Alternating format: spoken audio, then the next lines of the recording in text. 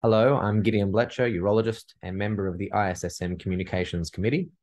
We've recently had a question posted to the Q&A section of the ISSM website asking about echoes and what does that mean in relation to a penile Doppler ultrasound.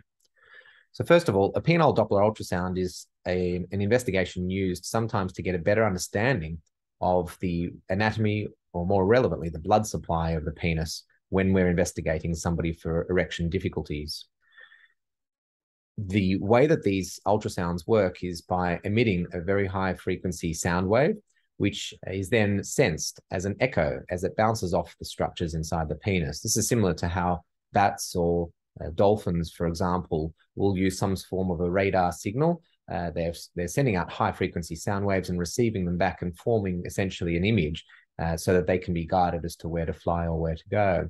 Same with the penile Doppler ultrasound. It's using uh, sound waves to form an image. Now, that's what the echoes are referring to. It's that bounce back of the sound waves to form the picture.